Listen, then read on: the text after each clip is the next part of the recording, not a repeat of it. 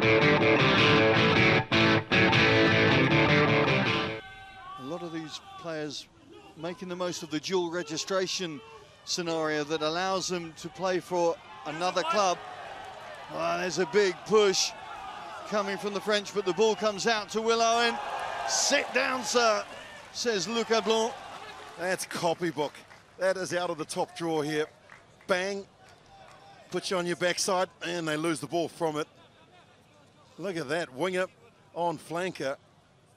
And of course, with Mitchell playing his rugby up just outside Manchester, it's kind of inevitable.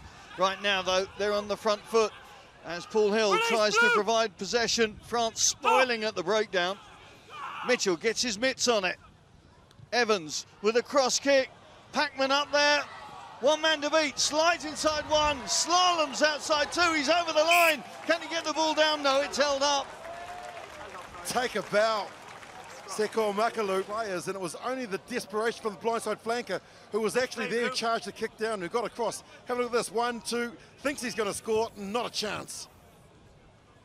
The right thigh of Macalou stopping that try from Howard Packman. Yes, please. Here's the mark. And there you see the deceptive strength and speed and balance.